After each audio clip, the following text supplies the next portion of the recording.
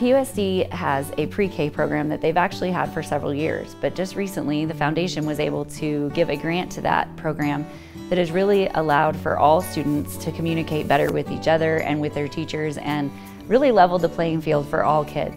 We have a lot of kids in our district who can't afford to really be successful within the school district when the school district is on such a tight budget. There's some things we can do as a foundation to help bridge that gap what we're doing here in the foundation is having an effect on teachers that are passionate about what they do. They're here because it's their mission. Their mission is to help kids be successful.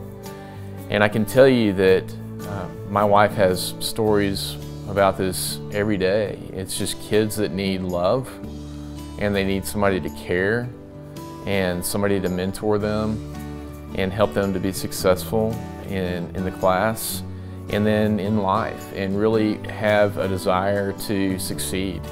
And there's a lot of kids in this district that just don't have that. that um, and these teachers are, are going and making a difference in doing that for them. Investing early in children is very important. Um, being able to provide things that they need right now to learn um, to feel a part of a community, even if it's just a classroom community, helps them to later on in life feel a part of society. The foundation understands what we're trying to do, especially with early childhood. They understand that, you know, by providing these GoTalk communication devices, that it allowed for our classroom to be more equitable and to be inclusive. We're a fantastic classroom environment. It's rare to find that actually. Um, and it's, it's like we're a gem and they having that connection with them because they see what we do here. They see how important it is um, and they support that. So keeping that connection is very, very important.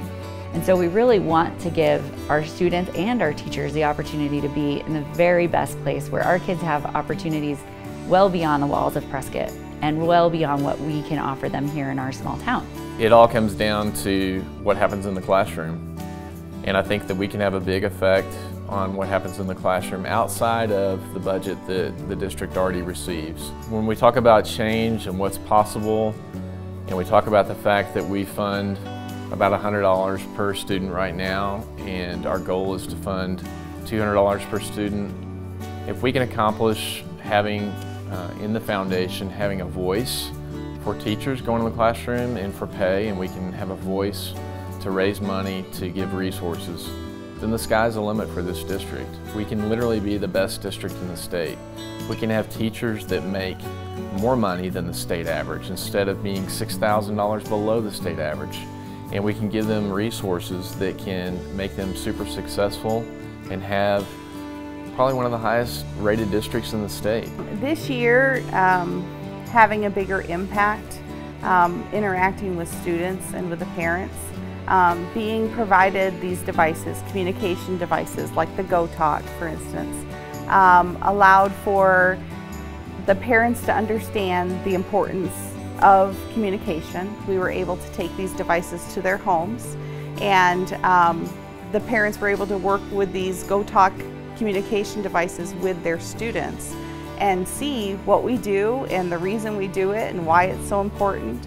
Um, it gave the child a voice at home as well as at school, which is wonderful. I think that the biggest change we can help make is to improve our local funding on education. There's not, it's hard to make the big changes that need to be made at our state level, but at the local level, we actually have such a supportive community and we have an outpouring of people who want to help our schools and want to see our schools be successful and our kids move on to doing great things. And I think as an education foundation, the biggest change we can make is to make sure, A, that people know we're out there and that we really want to, to provide the best possible opportunities for kids.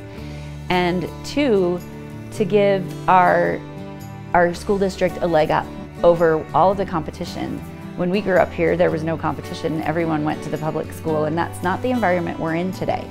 And the Education Foundation, I think, gives us the opportunity to be more competitive as a school district and gives us the chance to really make a much larger impact in our community and involve community members in a way they've never been invited to be involved before.